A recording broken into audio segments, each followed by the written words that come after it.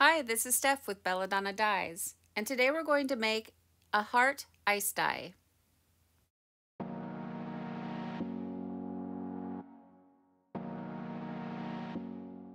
Using a washable marker, mark out where the center of your shirt is, and then use those marks to isolate out the front of the shirt.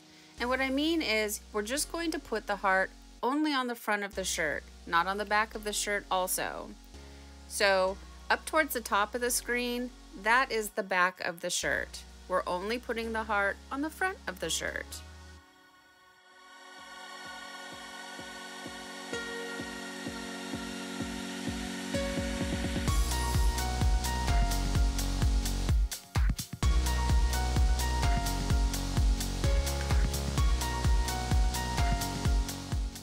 Again, using my washable marker, I'm going to trace out my stencil.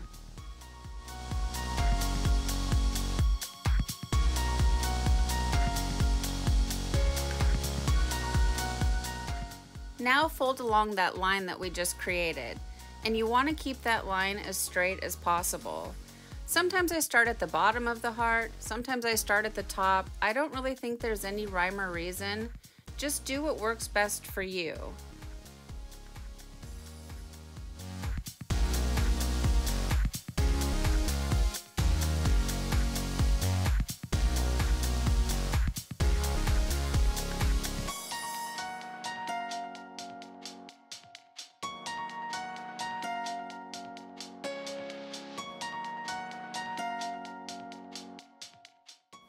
Now that we have that line nice and straight, it's time to secure it. And we're going to use sinew.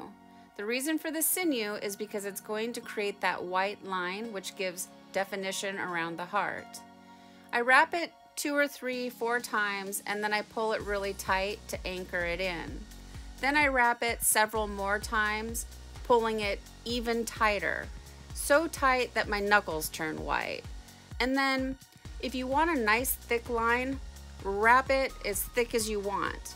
The more sinew you have, like the wider the line, the whiter, whiter, whiter the line will be. Gosh, okay, well, you know what I'm trying to say, right?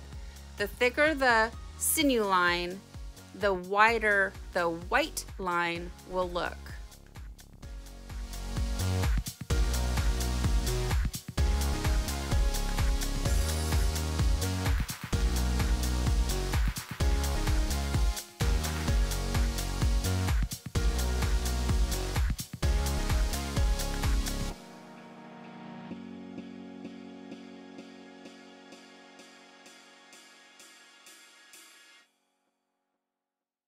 For the rest of the shirt, we're just going to do a simple scrunch.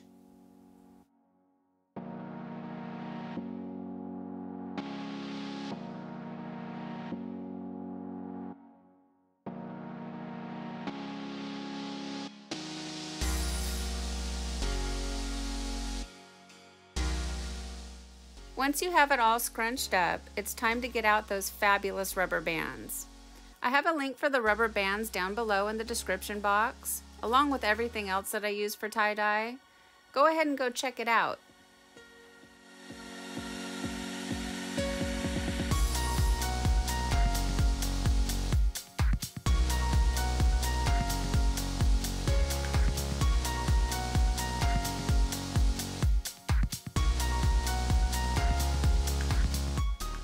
Now it's time for the fun part. We get to add the dye. I'm going to put a little bit of bubble gum at the very tip of the heart. I want to try to create sort of a glowing effect.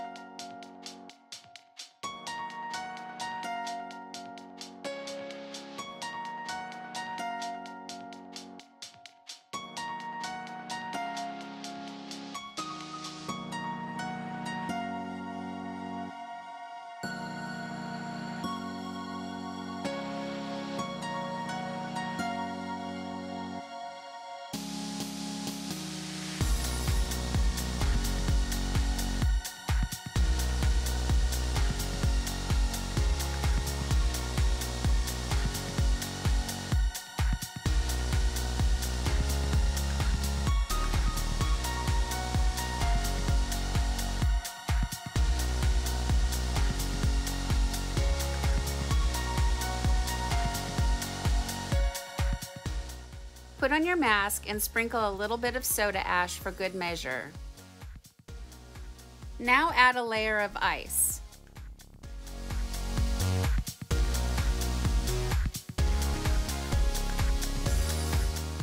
These little foil pans leak, so put it inside of a plastic tote. After the ice melts, I came back and I checked the back. It needed more dye. There just wasn't enough saturation. So I'm just going to repeat the same thing that I did on the top side on the back side.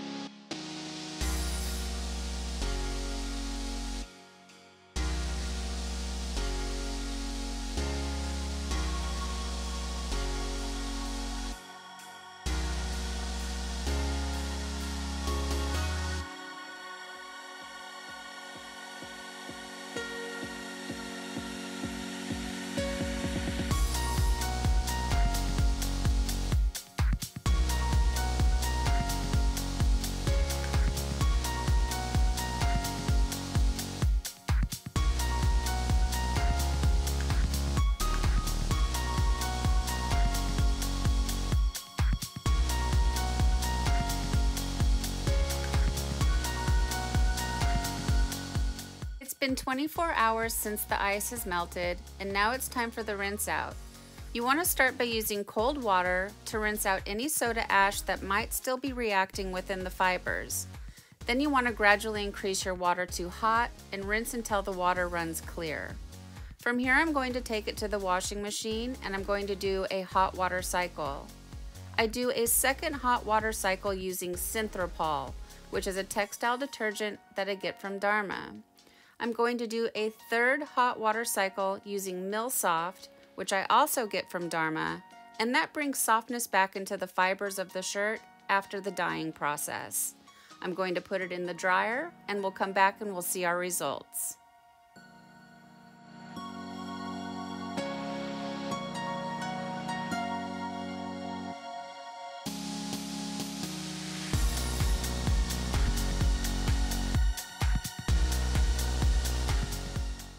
Well, here it is, guys. Here's our shirt after it's been washed and dried, and I think it turned out really cute. So using that bubble gum at the very tip of the shirt, at the center of the heart, it did create that glowing effect. So I'm really happy about that. And making that thicker sinew line created this nice white definition.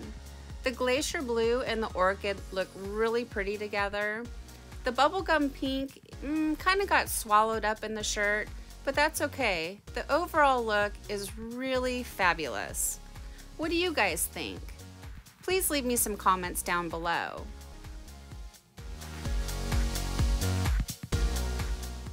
Thank you so much for watching. Please don't forget to subscribe, give a thumbs up, and click the bell for future notifications. And remember, have fun tie-dyeing.